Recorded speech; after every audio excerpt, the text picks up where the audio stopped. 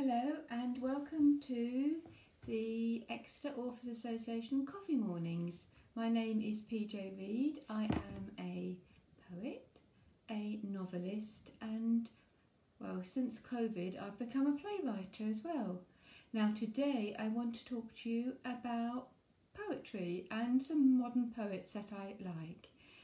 Today I will be having a look at this poet, Nick Armbrister.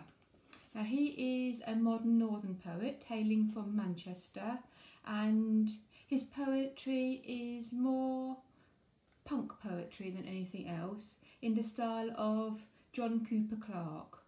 Uh, always an amazing poet that one and funnily enough they both come from the north of England.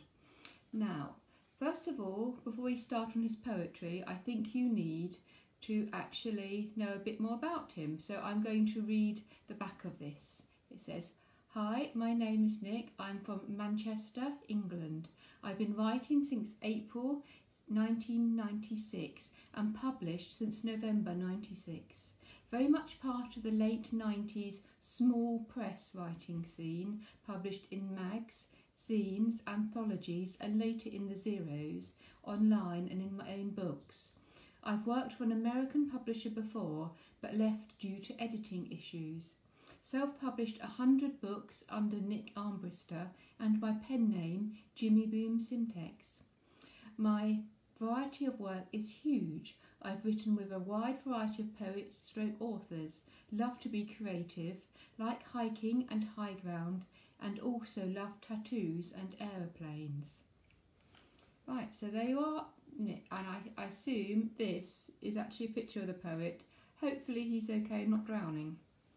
Now I've gone, this is his latest book. It's entitled 1000 Plastic Trinkets, which was sent to me and it's published by Cyberwit, which is an Indian publisher. Okay, and the first poem I'm going to read is one I really enjoy. It's called The Painter. When it comes to art, there is no sacrifice, not worth it, you see. It's mesmerising, the beauty and the cost.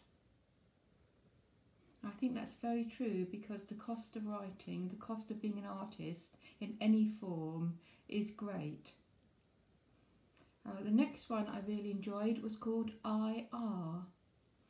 These five years of 1987 and 1991 when there was no one, nobody for me, except myself, kingdom of me. Things happened all the wrong ways, dealt with it myself, and it showed. I did survive, and now look back. If only I had known how it would be. Yeah, I think that poem is well, it's different from the first one. That poem is powerful.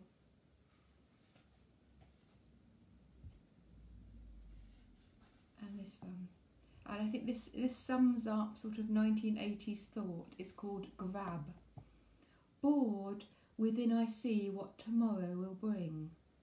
Today I need more, to replace the bad bits and have it okay. We shall see what life brings. New to this place that's mine.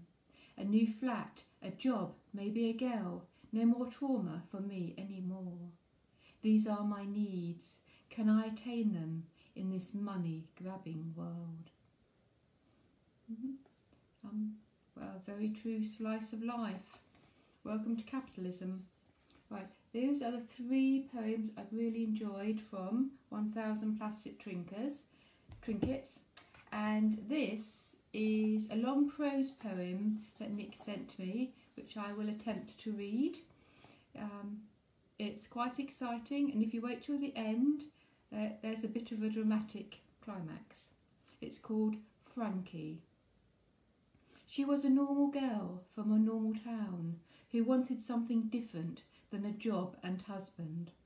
For her happiness meant achieving meaningful things. This started passing her school grades and a year at college.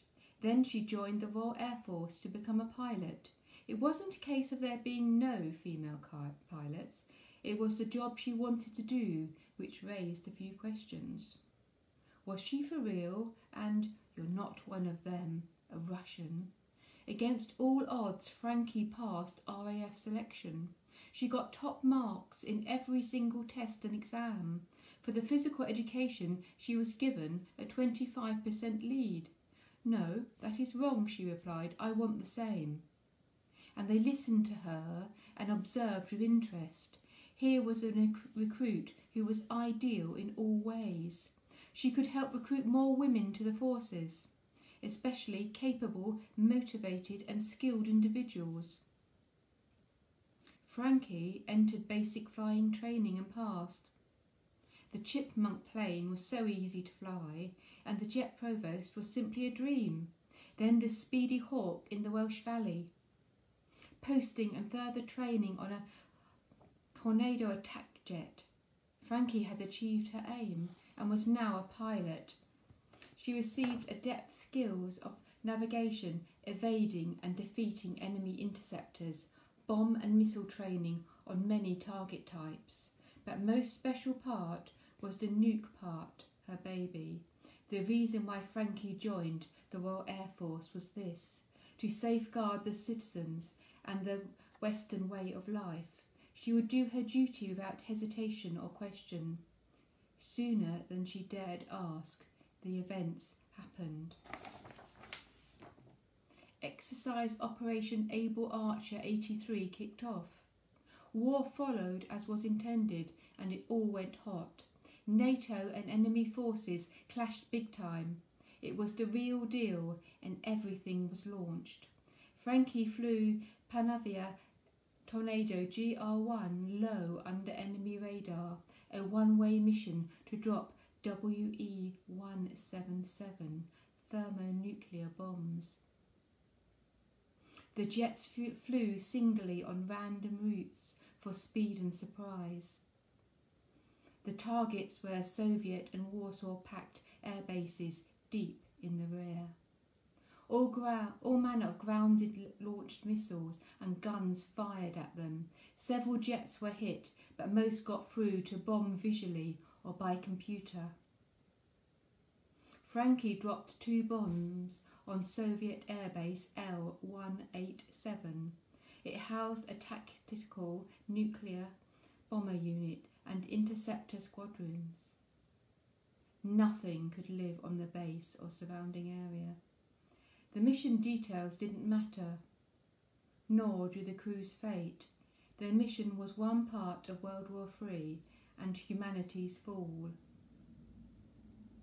Our world ended in November 1983 and I was just 12. There, a rather sombre thought-provoking poem to end with.